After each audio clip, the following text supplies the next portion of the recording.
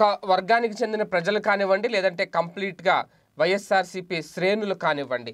రాజధానికి సంబంధించి ఒక క్లారిటీతో ఉన్నారు. అదే విశాఖపట్నం ఖచ్చితంగా ఎగ్జిక్యూటివ్ క్యాపిటల్ కాబోతుంది అనేది వాళ్ళలో ఒక పక్క ధీమా అయితే కనిపిస్తుంది. ఈ నేపథ్యంలోనే స్పీకర్ తమ్మినేని సీతారాం గారు చేసిన వ్యాఖ్యలు ఇప్పుడు చాలా సంచలనంగా మారాయి చంద్రబాబు గారి మీద.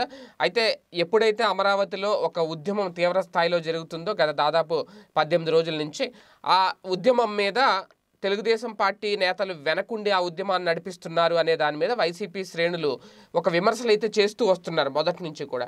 అయితే అదే టైంలో ఉద్యమాన్ని కూడా అంతే తీవ్రంగా ముందుకు తీసుకువెళ్ళేందుకు ఉద్యమానికి మరింత బలం చేకూర్చేందుకు కూడా తెలుగుదేశం పార్టీ చేస్తున్న ప్రయత్నాల్లో ఏమాత్రం వెనక్కి తగ్గిన పరిస్థితి అయితే కనిపించలేదు. అయితే ఈ టైంలో ఎక్కడ ఉన్న ఏ నేత ఏ కార్యక్రమంలో పాల్గొన్న ఎలాంటి అభివృద్ధి కార్యక్రమం కానివ్వండి శంకుస్థాపన కానివ్వండి ఎక్కడ పాల్గొన్నా సరే రాజధాని ఇష్యూ మీద ఒక మాట మాట్లాడడం రాజధాని ఇష్యూ టైంలో చంద్రబాబు గారు అలాగే రైతులు అమరావతి రైతులు చేస్తున్న పోరాటం మీద దాని మీద కూడా ఒక కామెంట్ చేయడం చాలా మామూలు అయిపోయింది ఈ నేపథ్యంలోనే తమ్మినేని సీతారాం కూడా మాట్లాడడం జరిగింది. మొన్న ఆల్రెడీ ఒక వ్యాఖ్య చేశారు. అయితే ఇప్పుడు తాజాగా ఈ పోరాటంలో వెనక్కి తగ్గేది లేదు. అవసరమైతే తిహార్ జైలుకి వెళ్ళడానికైనా తాను సిద్ధంగా ఉన్నాను అని చెప్పి చంద్రబాబు చేసిన వ్యాఖ్యలకు కౌంటర్గా తమ్మినేని సీతారాం చేసిన వ్యాఖ్యలు అనమాట తిహార్ జైలుకి కాదు ఎక్కడికి వెళ్ళినా సరే ఇదైతే ఆగదు.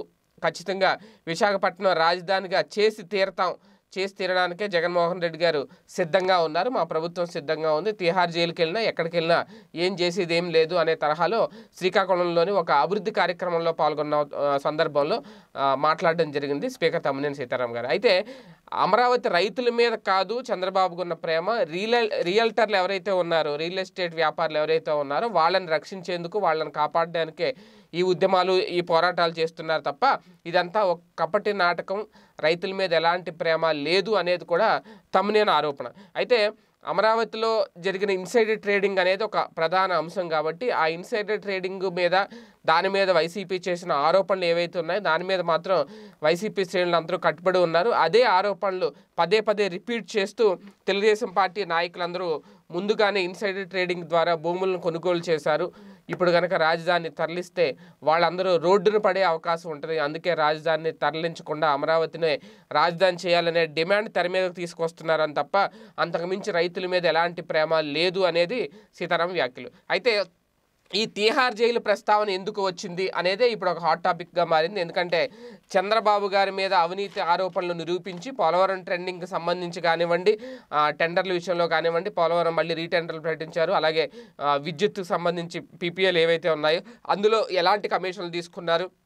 ఎలాంటి అక్రమాలకు పాల్పడ్డారు ఎలాంటి అవినీతికి పాల్పడ్డారు అనే దాని మీద కదా మొత్తం అంతా లెక్కలు సిద్ధం చేస్తున్నారు కాబట్టి ఇండైరెక్ట్గానే చంద్రబాబు గారిని తిహారు జైలుకి పంపిస్తాము అని ఒక ఇండైరెక్ట్గా ఒక సంకేతం ఇచ్చారా ప్రజలకు? సీతారాం గారు తమ్మినేని సీతారాం గారు అందులోకి స్పీకర్ గారు నోటించి ఆ మాట రావడం ఇప్పుడు హాట్ టాపిక్గా మారింది. మరి ఏం జరుగుద్ది? ఈ మాటల వెనక అసలు అవాంతరాలు ఏంటి? ఏం ఎలాంటి అవాంతరాలు వచ్చే అవకాశం ఉంది? అసలు వాస్తవాలు ఏంటి? ఇవన్నీ కూడా భవిష్యత్తు నిర్ణయించాలి. చూద్దాం ఏం జరుగుతుందో.